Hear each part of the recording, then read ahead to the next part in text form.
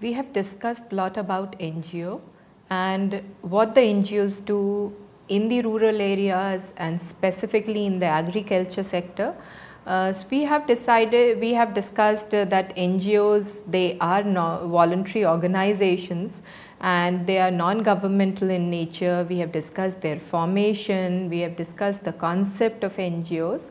Uh, in this session, we would be specifically concentrating on the role of NGO in rural development. Uh, it is very important to understand that why we are studying rural development per se. Uh, because uh, India is one of the countries which is uh, uh, occupied by the agriculture uh, sector uh, I mean the major part is being occupied by the agricultural sector. So, we do have a mixed economy, but uh, the majority part of the economy is dependent on the agricultural sector. And when we talk about the agriculture, uh, we have it in mind that all the farms, all the um, farmers associated with the, farm produces like wheat, rice, uh, jowar, bajra, etc., whatever it may be, they are located in the rural bases.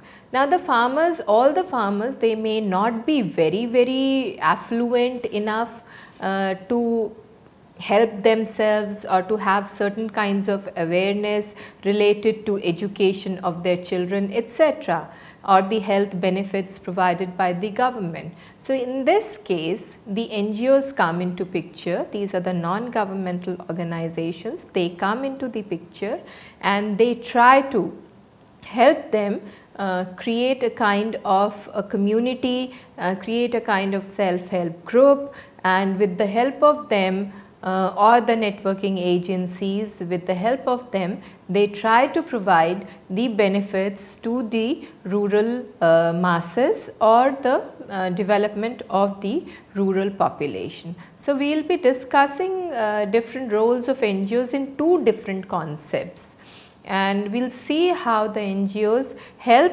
in rural development specifically in a country like India. So, when we talk about the rural development, what are the areas where the rural development is required?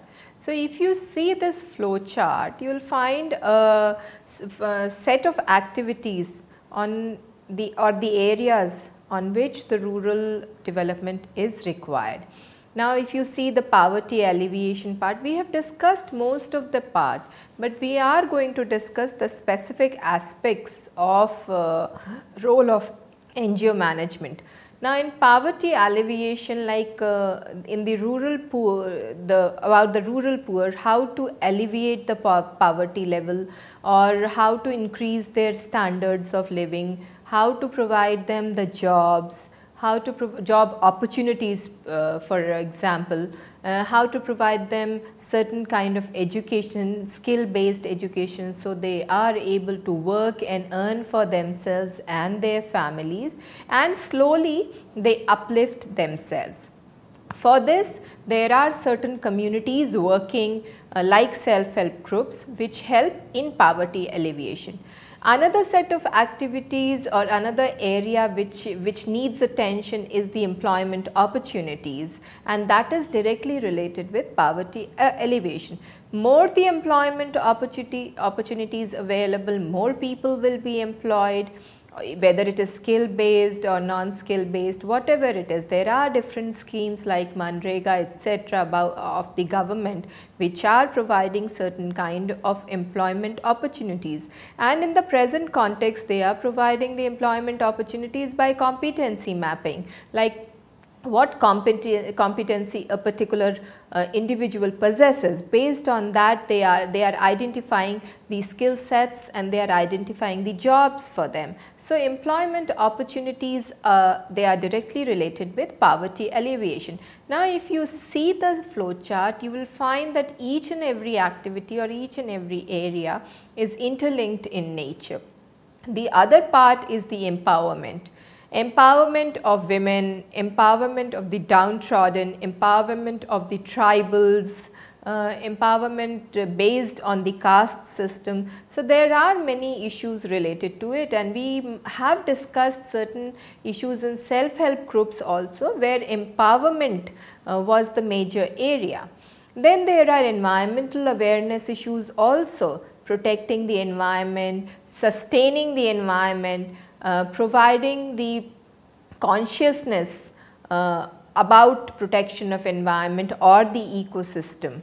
Then there is another area which is related to healthcare.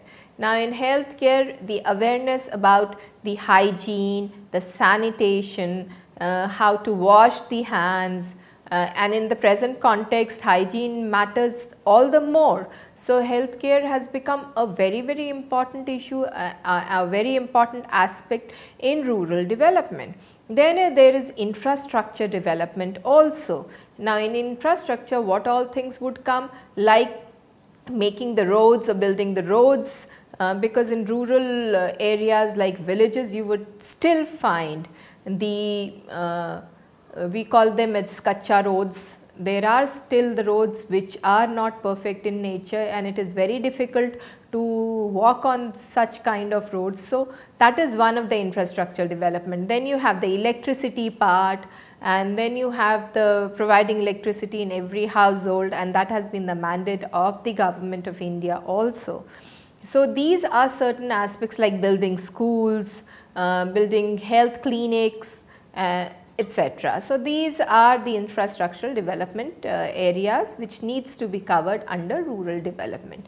Then one of the most important aspect which is uh, directly or indirectly related to each and every area which we have discussed is the education aspect.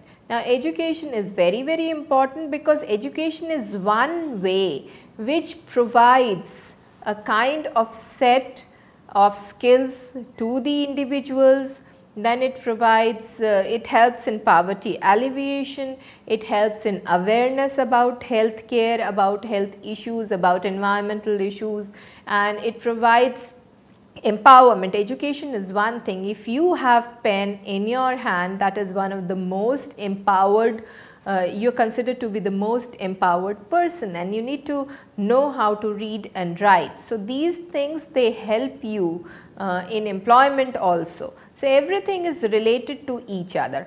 So, one aspect if it is touched upon automatically the other aspects are also covered. So, this is these are the areas where the rural development is required and these are the areas where the NGOs they try to pitch in we'll uh, I've just given a brief now we'll discuss these in detail.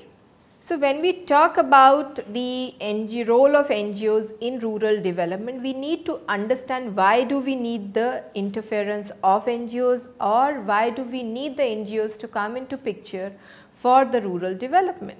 Can't the people residing in that particular area try to uplift themselves?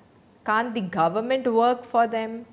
Can't the agencies, uh, the, uh, the sub-governmental agencies uh, located in those areas uh, like panchayats etc., they help in rural development. So, we need to understand why do we need the NGOs for playing a crucial role in the rural development.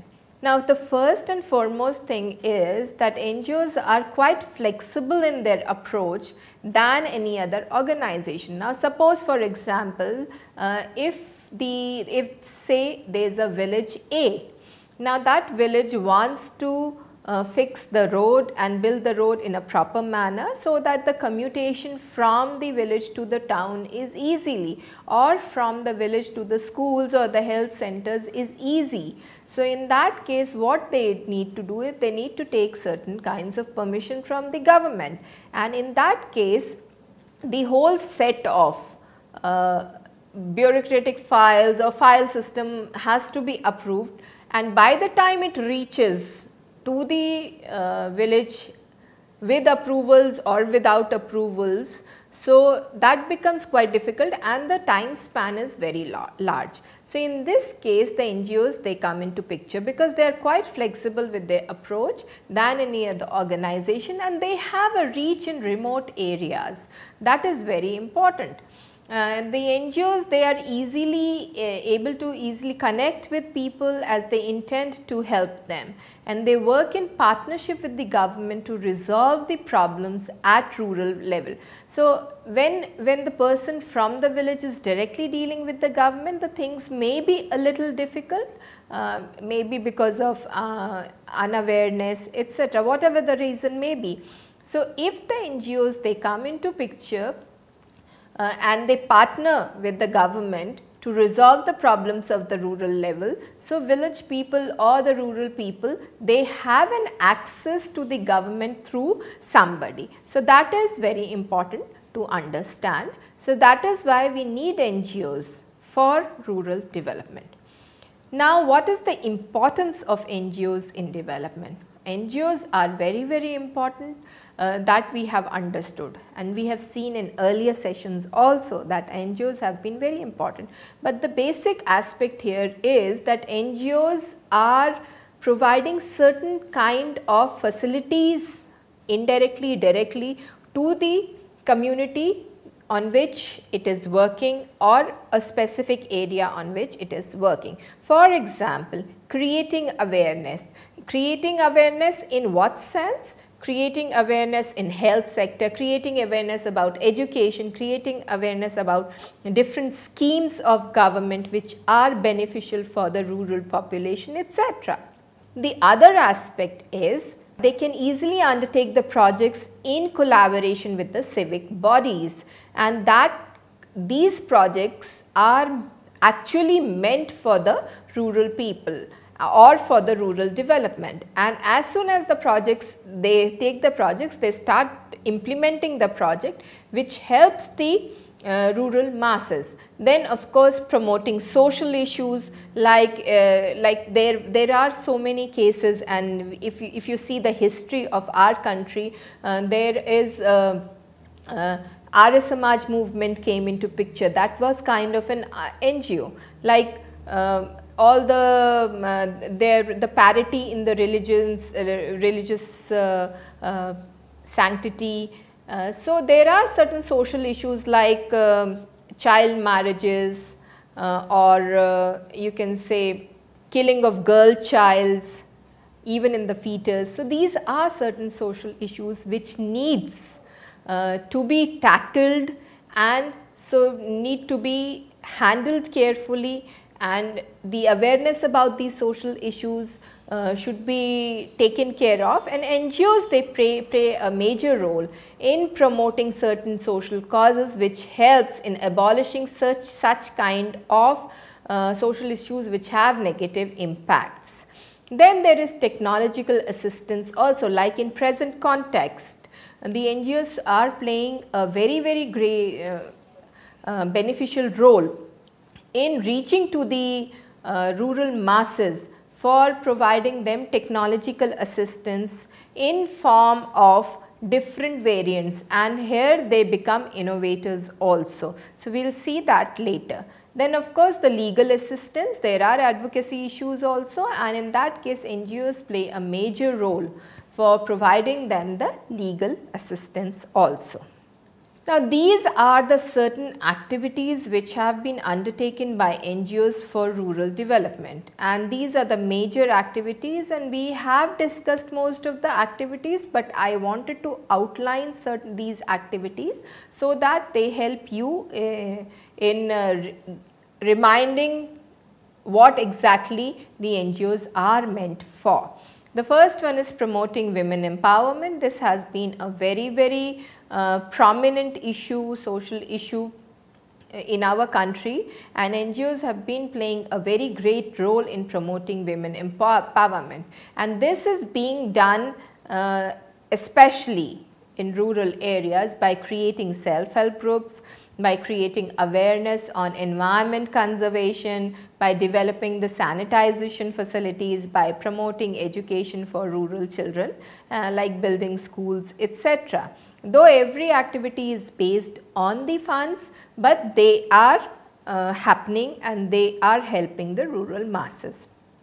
Then there are activities which have been undertaken by NGOs uh, for rural development uh, related to the medical campaigns and NGOs have been doing a very great job uh, in providing this kind of awareness in remote areas. Even they are going door to door to provide the awareness and for this the example of Anganwadi workers is very very popular where they go from door to door and provide awareness about the maternal health, uh, about the vaccinations and they even have the campaigns for say eye, eye operations etc. So, they promote uh, caste equality also they give legal aid to the rural poor because they cannot afford to have the legal aid. So, NGOs pitch in and they try to they network with the legal officers and then they provide uh, the legal aid to the rural poor. Uh, the aid in development of agricultural facilities like irrigation, this is one just one example uh, and they act as mediators between government bodies and the rural people. Now, in this case it is very important uh, to understand that what different roles are played by NGOs. Now, this is one concept. There is another concept also which is based on this only. This is a broader concept. There you have a defined concept. So, there are certain roles which have been played by NGOs like raising concerns on social issues. I had given you an example of uh, child marriages etc.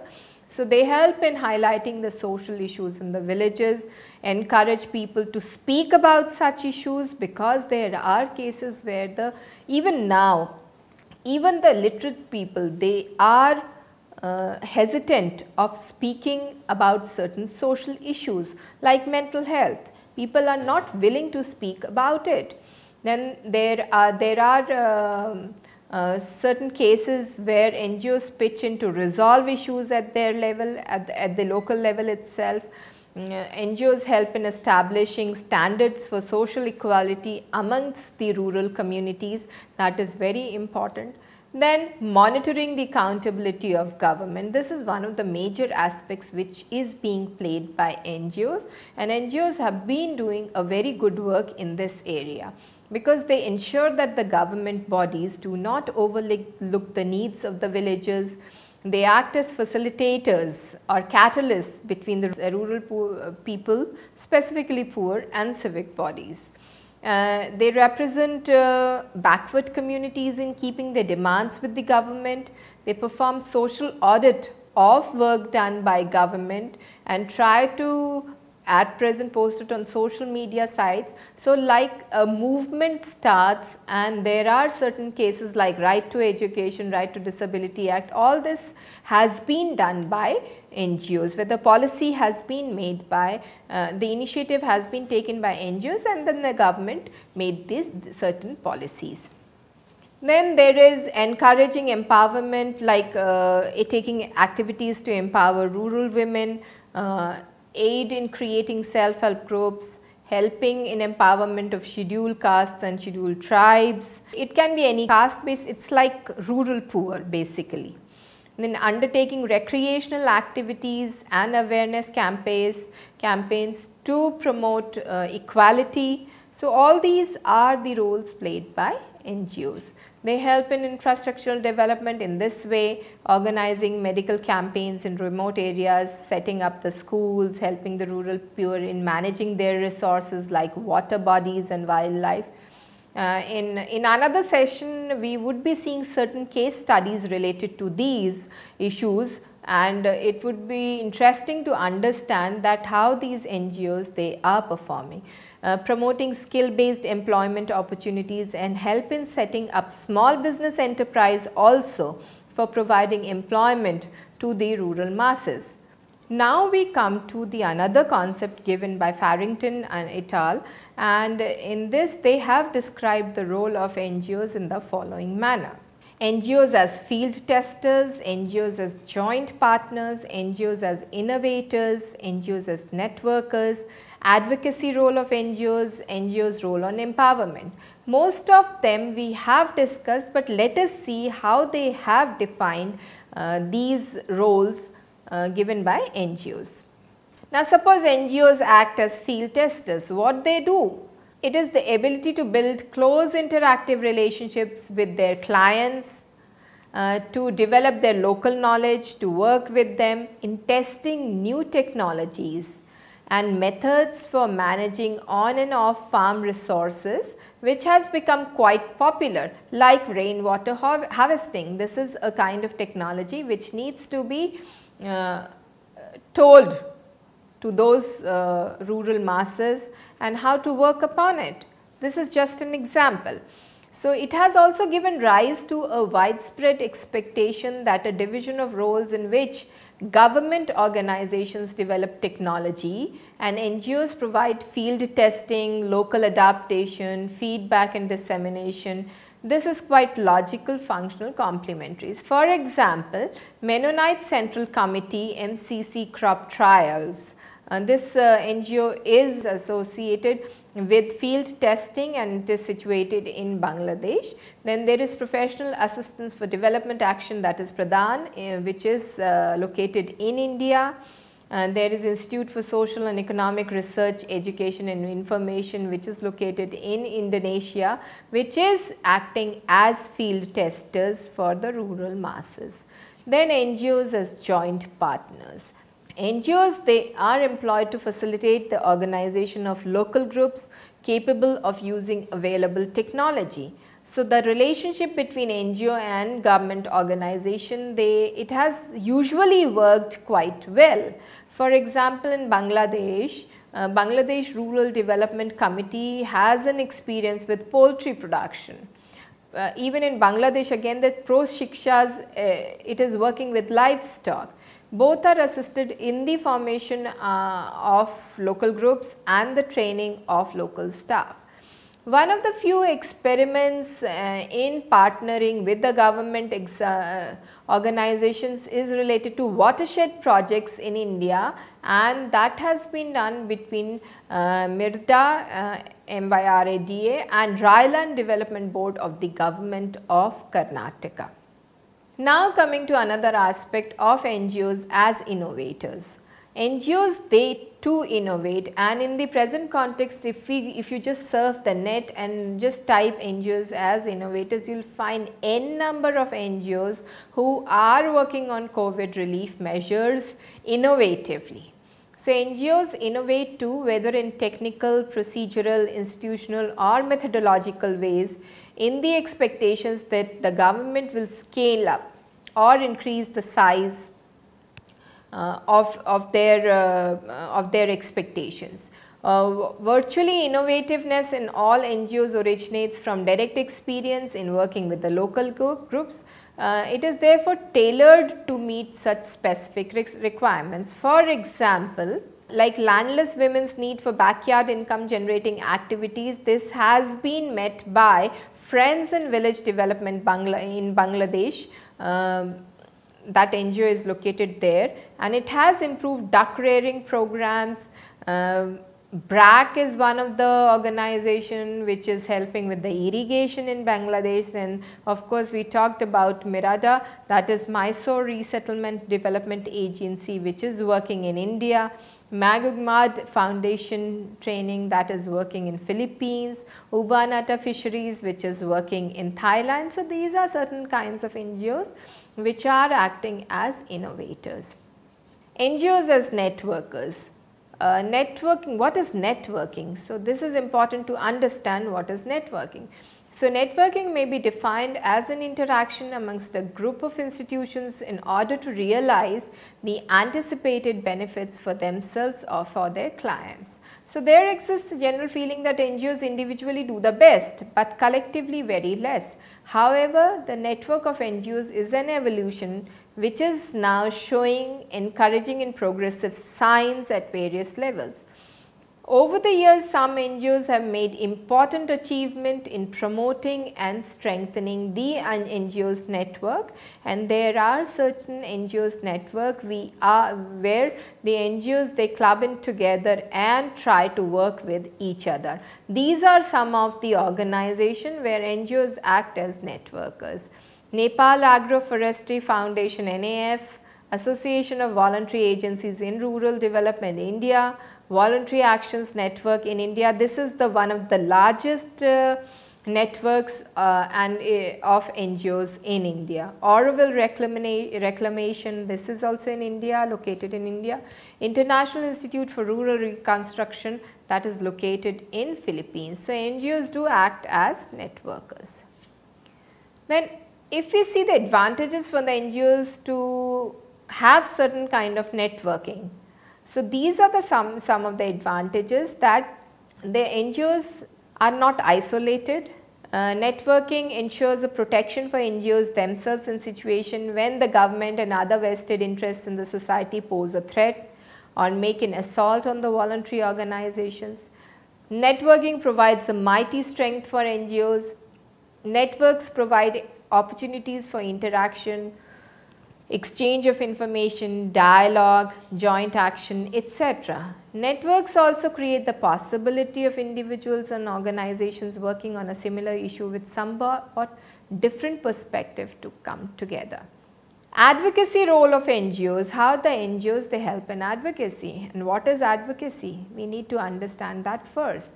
So advocacy means influencing policy in favor of the poor and powerless it can be understood as a deliberate, organized and systematic effort to influence policy affecting the poor, the marginalized, the underprivileged and the disadvantaged. Uh, they have critically have to critically analyze whether the government policies are pro-poor or not. Now, if it is not pro-poor, then a certain kind of movement starts.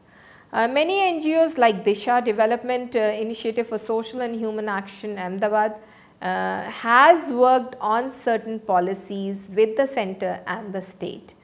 Such kind of NGOs, they act as facilitators uh, and the opponent or assembly parliament facilitators to the opponents uh, uh, in the government to raise appropriate questions and try to find out remedial action. And I had given you an example of say Right to Disability Act. This started with the movement of such kind. Uh, more uh, overt advocacy is evident in Proshika's efforts to promote poverty focused social forestry actions in Bangladesh Forest Department. So, these are the advocacy role of NGOs. Now, when we talk about NGOs role on empowerment, the term empower refers to giving power or authority to NGOs in the process of development interventions and this enables the impoverished and downtrodden to gain power and authority over their livelihood. This is achieved by organizing the unorganized sections of the society. Empowerment therefore is a process aimed at changing the nature and direction of systemic forces which marginalize Dalits, tribals, women and other disadvantaged sections. An empowerment approach is focused basically on the marginalized groups, particularly the rural poor, the women, the landless and the oppressed Dalits or the tribals. Some NGOs like Bhumi Sena in Maharashtra works with mar marginalized Adivasis or tribals. Uh, SEWA in Ahmedabad is a leading NGO based uh, in Gujarat which has selected poor women working in the urban information sector as its target group. Then Working Women's Forum, a South India NGO encourages women's groups to design and manage their own projects and activities. Chipko movement uh, is uh, providing protection to trees in Uttarakhand through the rural women. To summarize the whole concept, we can say that NGOs play an important role in rural development the majority of activities which are related to uh, the NGOs which uh, NGOs deal with are agricultural programs, health, human resource development, community development and of course industrial and trade programs like small scale enterprises. The NGOs do bring the awareness among the amongst the rural poor and are the major source for making the rural area developed. So, this is all about the role of NGOs in rural development, but you can always uh, uh, go to the website, certain websites or we will be discussing certain case studies in the next session uh, and in that in those case studies you can go to their uh, respective sites and try to find out how they are working for the rural development. Thank you so much.